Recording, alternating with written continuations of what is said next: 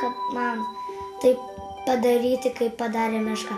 Ne, aš to nepadarysiu. Paslaptingas, nepažįstamas, baisiai įdomus pasaulis. Papylė degutą, gulbės kojas ir sparnai prilipo. Kairė ranka grievė dešinė. Metė. Kaip buvo karalienė. Ažolų ir liepai iš knygų veriasi dideli stebuklai. Ostelė pareis rado durelės atidarytas. Įėjo į travelę šaukti. Čia jau mūsų. O štai čia stebuklų tiek, kad sukasi galva. Lobynas. Ir pasakos, ir pasakėlės, ir tikėjimai ten. Mhm. Šventos agotos diena Gabija. Esame Lietuvių tautosakos rankraštynė. Va, 1900-ieji. Ir nieko nepadarysi labai. Pasakos, padavimai, mitai, legendos, priežodžiai, skaičiuotės, beveik 2 milijonai rankraščių, nepriepiami klodai - istorijos, literatūros ir medicinos. Taip, taip, medicinos. Kasdamas rasi kokį giltinės drabužio, nors supuvęs, tą iškėlus ant vėjo, tuoj turi palikti tvirtstai nuo, nuo mario. Tai kaimo siuvėjo Matos Lančiausko užrašai. Jiems 111 metų. Kai kumela Atsivet kumelį, tai tas bus turgaunas. Tokie, kur kokio dienos. Tai taip tarmiškai užrašyti. Tai taip, čia jau to. Kaip pen... Nosies galą paneštėjo, tai naujiena išgirsti. Vat iš kur tas, Taigi tas va. yra pasakymas. Dabar įsigalėjusi nuomonė, kad tik tai fiziškai identifikuojami dalykai yra tikri, yra tikras mūsų amžiaus produktas. Visada buvo tikima, kad ne tik fizinė medžiaga gali išgydyti žmogų. Tuo tarpu mesgi ir, ir patys netikime, kad mes esam vien tik fiziniai kūnai, mes esame mąstantis, jaučiantis, galų gale tikintis kažkuo.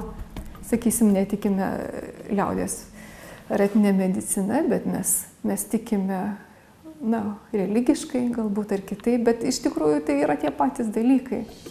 Kaip saugoti sveiką kūną ir sielą, kaip gydyti ligas ir mintis, kaip gintis nuo nuobodulio ir blogų akių, receptų tūkstančiai ir juose toli gražu ne tik vaistažolės, kaip esame įpratę manyti apie liaudės mediciną. Gydymą žolėmis arba fitoterapija tai yra tik vienas iš nedaugelio. Sakysim, yra pirtis. Mes dabar visiškai net nesusimastom, kad na, tai yra kažkokia gydomoji priemonė, bet jeigu mes žiūrėtume pasaulio kultūrų kontekste, matytume, kad toli gražu ne visos kultūros pirtis naudoja. Ne tik kaip vanojimas, bet taip pat tam tikras braukimas, masažai, mirkimas vonioje ar kubile, galbūt pirti reikėtų sakyti. Taip pat kvėpavimas, smilkimas, pirties akmuo įmestas į karštą vandenį irgi duoda savo, savotišką gydymo efektą. Tada reikia praustis tuo vandeniu ir mirkytis.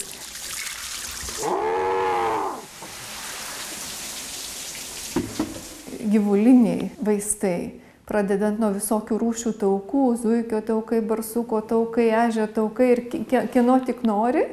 Ir baigiant tokiom priemonėm, kaip sakysim, e, užpilta ten rupūžė ar džiovinta gyvatė sutrinti milteliai, ar užpilta spiritų gyvatė, ar, sakysim, lydeko žiaunos iš, išvirintos ir tas nuoviras geriamas, jeigu skauda dantį, šuns plaukai.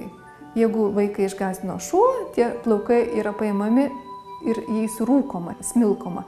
Ir mineralai, akmenukai, vairių rūšių žemė, galų gale molis. O man duosi, klausė vilkas.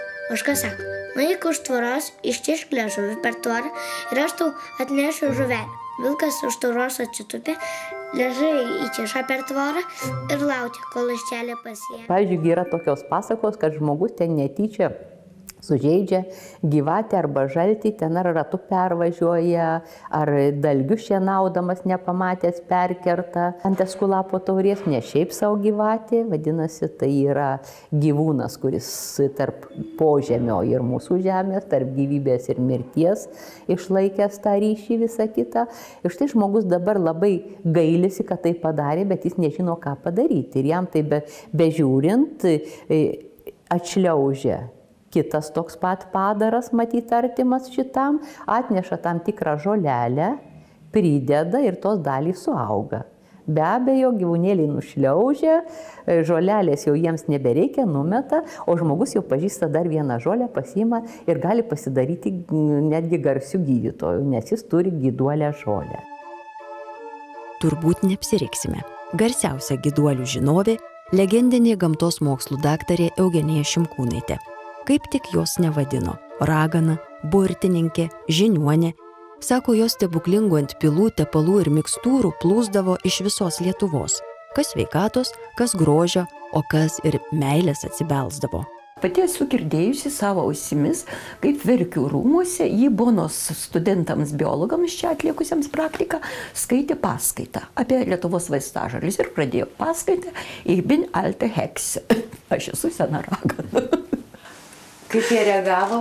Džiaugsmingai. Paskaita įdomi baisiausiai buvo. Buteliukai, augaliukai, recepčiukai. Net nuosavas raganos transportas įteiktas per vieną jubiliejų. EŠ 60.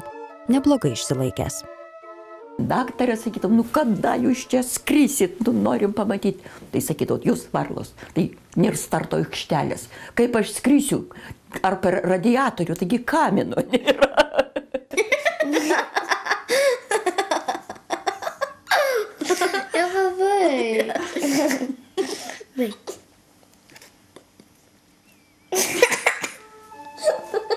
Burdavo per joninės. Visiems šventą teisybę pasakydavo. Šventą teisybę pasakydavo. Pavyzdžiui, yra užkalbėjimas, jeigu vaikučiui mažam pilvukas skauda. Tai reikia virti avižų putrelę ir užkalbėjimą. Maišyti tol, kol iškalbėsi. O iškalbėjimas ilgas ar penkiolika posmų. Tai aš supratau, kad čia yra laiko. Čia yra laiko norma. Jinai labai reikalaudavo informacijos.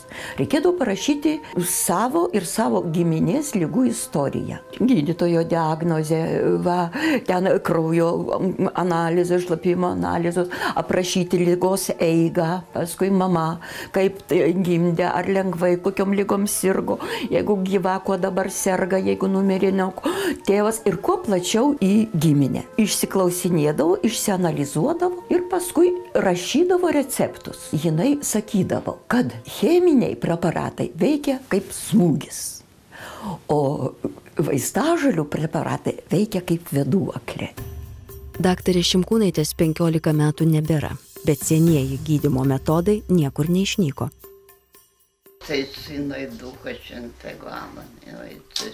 Štai kaip rytų Lietuvoje iki šiol gydo kojos patempimą. Šie kadrai filmuoti šiemet vasarą netoli gervėčių.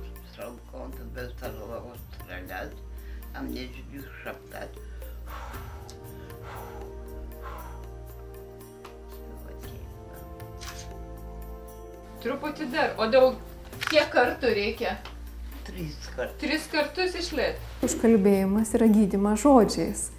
Tradiciškai Lietuvoje užkalbėjimai būdavo sakomi vienu atsikvėpimu, tai yra nekvėpuojant. Ir tai, tai yra labai svarbu, nes tai sukuria ta, tam tikrą dvasinę būseną, sakant užkalbėjimą. Labai dažnai kreipiamasi į, į švenčiausią Mariją ar Jėzų, kartais minima Saulė, Mėnulė, žvaigždė, kas yra iš mūsų senųjų die- dievybių pasaulio, kas ateina. Paaiškėjo, kad yra ir jaunų žmonių, ir kad yra jų ir miestuose, yra ir kaimo vietovėse. Ir kad užkalbėjimai dabar e, jie yra perdodami, neperdodami, bet jais gydomi įvairiai. Pavyzdžiui, pacientai skambinant telefonu. Vie- vie- Viena moteris pasakojo, kaip skambino iš Britanijos emigrantė ir prašė ją užkalbėti. Na, e, tai nėra kažkokia visiškai izoliuotas rytis, tai yra integruota į šio laikinį gyvenimą. O štai karpoms gydyti šio laikinėme gyvenime pravers ne telefonas, o siūlas. ne šeši, ne septyni, ne aštuoni. Ir taip suskaito, kiek būna karpų, tiek ir mazgelių suriša. Ir tada, kaip jau surišti visi mazgeliai, tada siūlalį rytukas lyšnę nukerpa, padeda, o tuos, o, o tuos jau tada mazgelius visus va, susuka, susuka, ap- apvynioja, va taip aplink pirštus, susuka, susuka. Ir va tokį žmukelį, liepė nunešti, aš kasti po lašais, kur nuo dangščio varva lašai. Nesakysim, tokia lyga kaip gumbas, jau šiandien mes negirdėsime, bet kadaise tai reiškia, bet ne visus pilvo sutrikimus, tai gali būti ir, ir virškinimo, ir, ir, ir gimdos lygos, ir patempimai, ir, ir trūkis. Tai gumbas yra viena iš tų lygų, kuriems vartojami užkalbėjimai, nes tai yra sunkiai pagydoma lyga. Bet jeigu kalbėtume apie šio laikinį pasaulį, tai nuo ko dar, dar yra gydoma tokiais būdais, tai yra dažniausiai rožė, taip pat gydoma nuo blogų akių. Tris kartus iš pirmo galiu, tris kartus va, iš užpakalio ir viskas. Ir išgūsčios nėra, kaip nebuvė. O kur dabar tą siūlą reikėtų? Į tai va, tris kartus reikia, kaip sakiau, ryte vakare. Va, ir tada sudeginsi tų siūlų. Žmogui anksčiau tai buvo tiesiog gilesnis žinojimas dalyko, ar ne? Nes ne- nebuvo tos ribos tarp to praktinio pasaulio ir, ir, ir mitinio pasaulio, nes vis, viskas susijungia. Ir aš ten buvau. Medų vyną gėriau. Per barzdą varvėjo. Burnoj neturėjau. Pušyną važiavau. Vyžoje pinigus vežiau. Mano pinigai išbirė. Tamsta surinkai. Šimkūnaitė akcentuodavo žolininko etiką. Tai turi būti ne šiaip garmas pasitaikęs, tai turi būti labai toks nu, išskirtinis žmogus. Savo moralę, savo elgesiu, savo atsakomybę. Nu ir kaip jis sakydavo, kaip vaistažolininkas niekada negali meluoti, negali plūstis, negali keiktis. Medicina yra ne tik kūnas. Etnologijoje medicina apima taip pat ir žmogaus sielą. Ta konfrontacija iš tiesų nereikalinga ir, ir neturėtų būti. Bet jinai yra. Ji yra, bet mes gyvename šio laikinėme pasaulyje, kur dažnai kalbame apie toleranciją, apie kito žmogaus supratimą, skirtingos tautybės, socialinio sluoksnio. Tai kodėl mes neturėtume žiūrėti tolerantiškai skirtingus medicininius supratimus?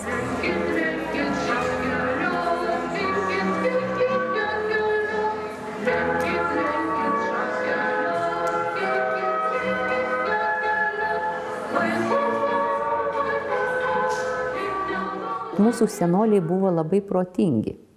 Jie žinojo, kad jaunystės nesugražinsi, kad tas, kuris gimė, turės ir mirti.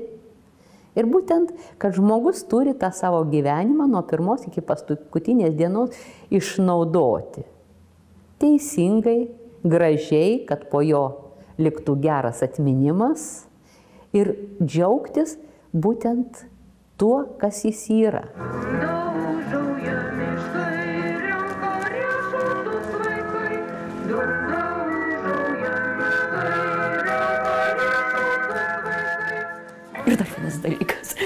labai džiaugtis vieni kiti, kitais. Tai baisiai padeda gyventi.